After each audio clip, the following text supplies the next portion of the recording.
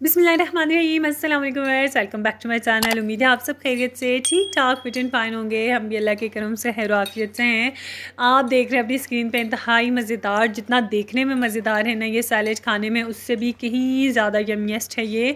तो आइए, आज ये वीडियो हम स्टार्ट करते हैं और आपको एक इंटरेस्टिंग चीज़ बता दूँ। ये सैलड आपकी सेहत के लिए बहुत अच्छा है। ये आपको मोटा छोटा बिल्कुल नहीं करने वाला है, लेकिन ये आपकी डाइट में भी अगर आप इसे ले रहे हैं, अगर आप इसे डेली बेसिस पर भी ले रहे हैं तो ये आपके लिए बहुत अच्छा है। ये आपकी सेहत सेहत के लिए भी बहुत अच्छा है। ठीक है, क्योंकि मैंने इसमें सारी चीज़ें जो है ना बहुत हेल्दी हेल्दी यूज़ की हैं और मैंने इसको बहुत लाइट भी रखा है। तो कैसे बनाया है, आज इस वीडियो में जानते हैं।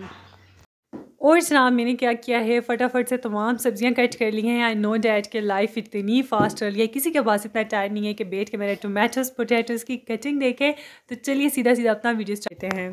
Here we have some veggies मैंने लिए बंद गोभी बीट रूट चिकंदर और टमाटर। इन सबको ना मैंने कोशिश की है कि मैं मिक्रोनी के ही स्टाइल में कट करूँ अच्छा लगता है। और साथ में ये मैंने अनियन लिया है, इसको मैंने अलग किस लिए कट किया है वो भी मैं आपको बताती हूँ।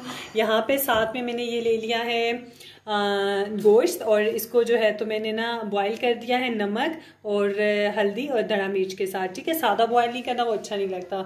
तो अभी इसको हम बना लेंगे, इसका रेशा इस तरह से बहुत आसानी से बन जाएगा एक मिनट के अंदर अंदर मैंने बहुत अच्छे से इसको बॉईल किया था। सैलेड में ये होता है कि अच्छा नहीं लगेगा। अगर ज़रा बराबर भी आपको कच्चा टेस्ट आएगा ना ओके okay, ये तो डन है। एक मिनट भी नहीं लगा ये हो गया रेडी अब यहाँ आपको एक और चीज़ बता दूँ अगर आपके पास गोश्त नहीं अवेलेबल तो आप इसकी जगह चिकन बॉयल करके भी यूज़ कर सकते हैं। आप पोटेटोज़ भी बॉयल करके यूज़ कर सकते हैं।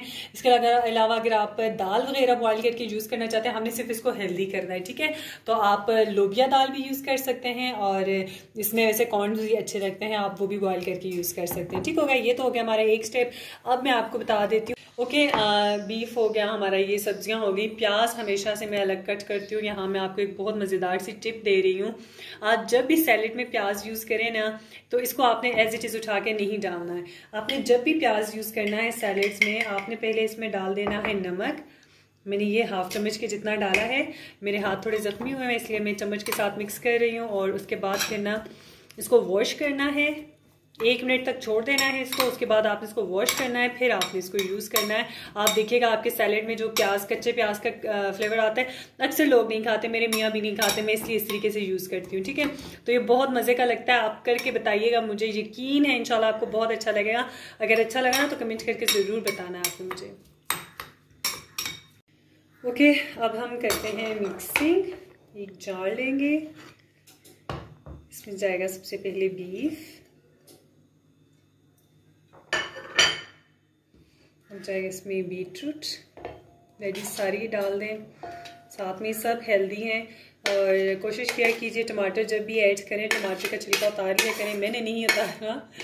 इसकी शेप ख़राब हो जाती है। मेरे डॉक्टर कज़न है, वो कहते हैं कि भाई ये हमारी हेल्थ के लिए अच्छा नहीं होता। ये प्याज वॉश कर लिया मैंने इसको।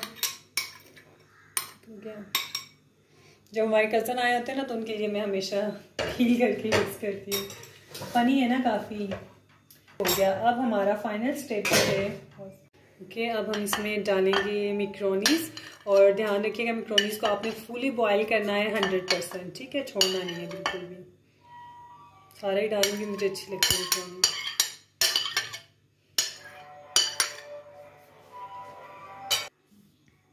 ओके okay, अब टाइम आता है इसमें स्पाइसेस ऐड करने का। हम्म, सबसे पहले इसमें जाएगा olive oil near one spoon जब ब्लैक पेपर ये हो गया, अब इसमें जाएगा नमक. अब इसमें जा रहा है चाट मसाला. एक चम्मच भर के डाला है मैंने. अब इसको अच्छे से हमने कर देना है mix and one more thing जनाब आपको बता दूँ तमाम मसाले मैंने ऐड कर दिए थे लेकिन मैंने आपको बताया नहीं आपको इसमें डालना है लेमन जूस लेमन जूस बहुत ज़्यादा अच्छा लगता है इसमें। तकरीबन एक चम्मच के करीब आप इसमें डालेंगे। एक्चुअली ये है कि आपके घर में जो भी सब्ज़ियाँ और बीफ मौजूद है घर में दाल वगैरह उबली हुई है आप उनके साथ ये सैलड रेडी कर सकते हैं। तो मेरे पास अब जो चीज़ें मौजूद थी घर में मैंने उन्हीं के साथ बनाया है। और जूस नहीं था आज लेमन जूस नहीं था घर में फ्रेश लेमन नहीं थे घर में दैट्स वाई मैंने यूज़ नहीं किया है। है, लेकिन आपने लाजमी करना है क्योंकि उसका फ्लेवर बहुत अच्छा लगता है। इसमें ठीक हो गया। और देखिए, देखने में इतना मज़ेदार लगता है। आप अपने मेहमानों को भी इसे सर्व कर सकते हैं। ये बहुत झटपट पाँच से सात मिनट में बन जाने वाली रेसिपी है। जब बंदा वीडियो शूट कर रहा होता है, थोड़ा बहुत टाइम इसमें लग जाता है, लेकिन अगर आप बिना शूट किए अगर आप बना रहे हैं ना तो ये फ़ौर बन जाएगा। ठीक है, पाँच से सात मिनट लगेंगे। आप मेहमानों को भी सर्व कीजिए। बहुत मज़े की रेसिपी है।